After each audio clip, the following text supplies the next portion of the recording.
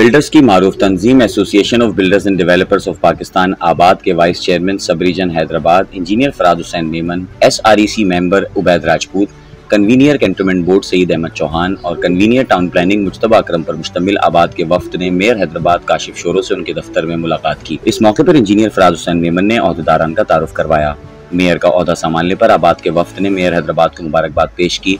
और गुलदस्ते लुंगी और अजरक के तहफ पेश किए। इस मौके पर इंजीनियर फराज हुसैन मेमन ने आबाद के मरकजी चेयरमैन अल्ताफ ताई की जानब से भी मेयर हैदराबाद को मुबारकबाद पेश की और उनकी जानब से नेक तमन्नाओं का इजहार किया। जिसके बाद बाकायदा अहम मीटिंग का आगाज़ हुआ। आबाद के वफद ने हैदराबाद में तरक्याती स्कीम्स और बिल्डर्स को दरपेश मसाइल से मेयर हैदराबाद को तफसीली आगाही दी। इंजीनियर फराज हुसैन मेमन ने मेयर हैदराबाद से मुखातिब होते हुए कहा कि बिल्डर्स को H D S B C A और मुतल इदारों से तहफात हैं, जिनको दूर किया जाए, ताकि हैदराबाद की तरक्की में हाई रुकावटें दूर हो सकें। इंजीनियर फराज हुसैन मेमन ने कहा कि आबाद हटड़ी बाईपास पर मददगार वन फाइव सेंटर बना रहा है, जिसके लिए कमिश्नर हैदराबाद को एंबुलेंस फराम करने के लिए कहा गया है। आप हमें फायर ब्रिगेड फराम करें, ताकि किसी भी मिसहैप से बचा जा सके। इंजीनियर फराज हुसैन मेमन ने मजीद कहा कि माजी में कासमाबाद में डेमोलेशन की गई, जिसकी वजह से शहरियों को परेशानी और मुश्किल का सामना करना पड़ा। उन्होंने मजीद कहा कि आबाद हैदराबाद शहर की तरक्की के लिए पुरजम है। शहर की प्लानिंग और ब्यूटिफिकेशन के लिए दिन रात कोशा है। मेयर हैदराबाद काशिफ शोरों ने कहा की हैदराबाद शहर के लिए मास्टर प्लान बनाया जा रहा है ताकि शहर को खूबसूरत बनाकर इसकी रौनकें बहाल हो सकें। उन्होंने कहा कि मुल्क की तरक्की में बिल्डर्स का अहम किरदार है। इस हवाले से कदम ब कदम बिल्डर्स के साथ हूँ। मुतल इदारे हर मुमकिन ताबन करेंगे और किसी किस्म की कोताही बर्दाश्त नहीं की जाएगी। इस मौके पर S R E C member Ubaid Rajput ने मसाइल पर तफसीली रोशनी डाली और उनके हल के लिए दरख्वास्त की। Convener cantonment board Saeed Ahmed Chauhan और convener town planning Mujtaba Akram अपनी अपनी कमेटियों से मुतालिक गुफ्तु की।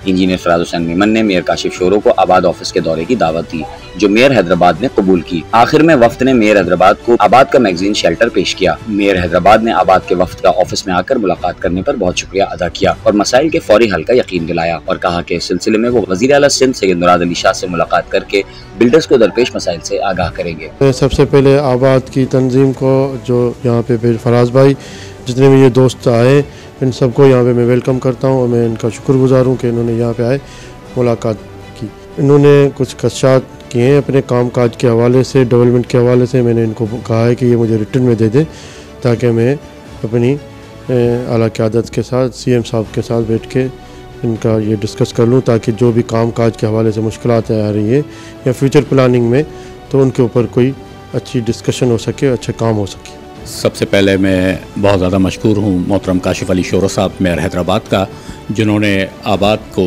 टाइम दिया, उनके मसाइल सुने और हमें यकीन दयानी कराई है कि हमारे जो भी इश्यूज़ हैं, जायज़ इश्यूज़ उनको अला क़्यादत से बात करके उन सबको हल किया जाएगा। उसमें एच डी ए के इशूज़ हैं सिंध बिल्डिंग कंट्रोल अथॉरिटी के इशूज़ हैं और हैदराबाद की ब्यूटिफिकेशन के हवाले से इशूज़ हैं।